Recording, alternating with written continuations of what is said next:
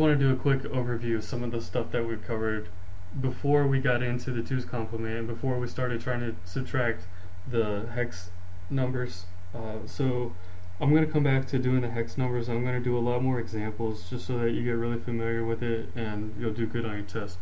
But uh, as far as just reiterating stuff,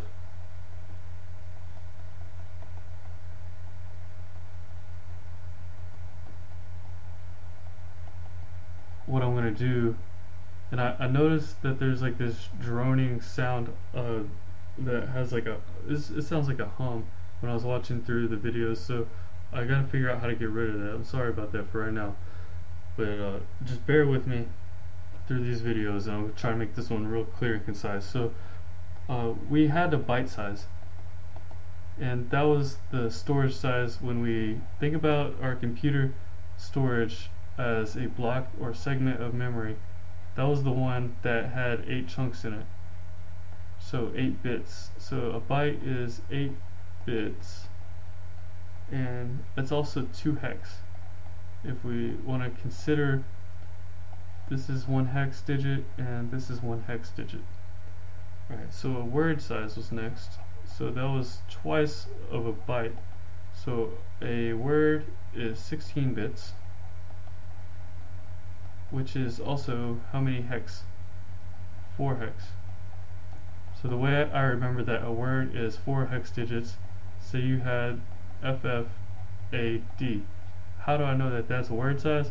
Because it's like the same amount of numbers as just word, right? Okay, so D word was after that, and D word is double word, which means 32 bits or 8 hex. So in the assembly language or just in computer programming in general we have our storage space and each like block that we would think about like each block has its address and those are typically given in D word sizes so we have like A B C A F C D, uh, you know, one, something like that.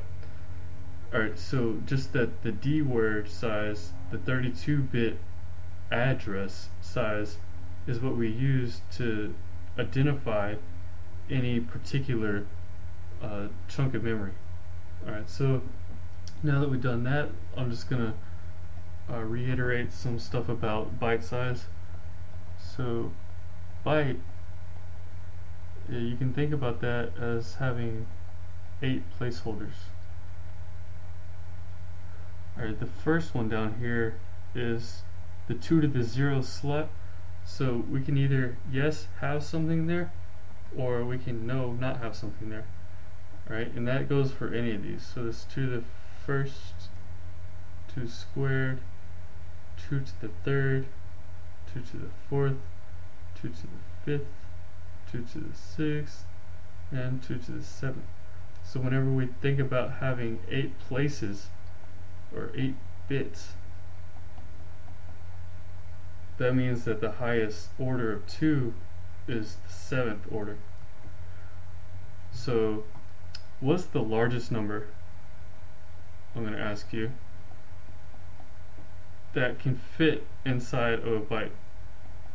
So pause the video and think about what's the largest number that fits in a byte-sized container. Alright, I'm assuming that you paused the video, so I'm going to answer it now. Well, what we can think about is what if we had all these filled up with yeses?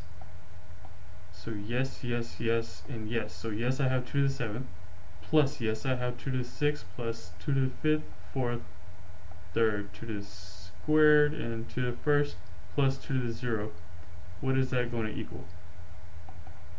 Well, the way I would do this is I would consider, what if I were to add one to this? If I added one here, it would carry over and carry over and carry over and carry over, carry over, carry over, carry over, all the way to this place, right? So we'd end up with the same thing as 2 to the 8th. Alright, so what if I just thought about what if I had 2 to the 8th and I subtracted 1? I would get this series of 1s that we started out with. So that's what I'm going to do. 2 to the 8th minus 1 is equal to 256 base 10 minus 1 equals 255. That's how I think about this this question about what's the largest number that fits. So let me just go ahead and do one more example of this and I'm going to jump to a D word size. So skipping word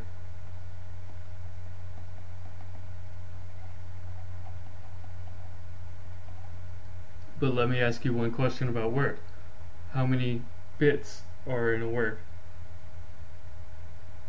Right? Okay, 2 to the what would be the largest power?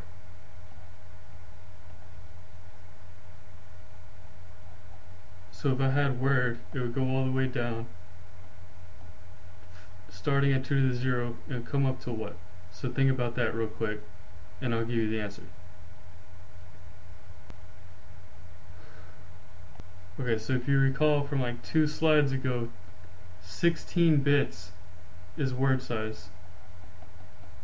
And so the largest power here would be 2 to the 15. Alright, but like I said, I'm going to skip that and what we're going to do now is we're going to just go ahead and think about D word. This is the one that really counts. If you know, well, you're going to have to know all of them, but D word is for the registers. And so I'm going to write out all the little blocks because that's literally how I think about it every time. So how many blocks are going to be here? There's going to be 32 because a D word is 32 bit size. So that means I have 8 segments of 4 blocks so far I only have six. Alright, seven, eight. Now the lowest one would be 2 to the 0 power, and then that would continue all the way up to what is the highest one. Well, since I had a D word size is 32 bits, but one of these bits represents 2 to the 0, the highest one that's available is 2 to the 31st, which is an extraordinarily large number, as we will see. So let's think about how large is that number. Well, what's the largest number that fits inside a D inside of a D word if we had all of these filled up? The largest number would be 2 to the 32nd minus 1. Alright, so I'll get the calculator. 2 to the power of 32 is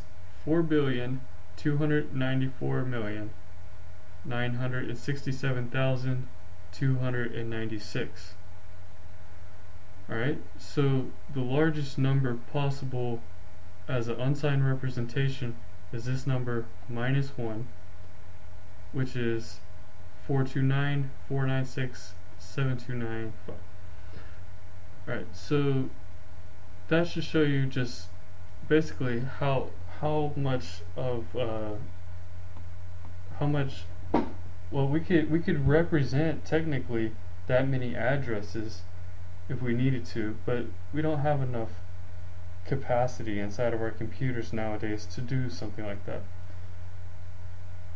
So that's a good overview like I said, I'm going to come back and do some more problems with the 2's complement subtraction.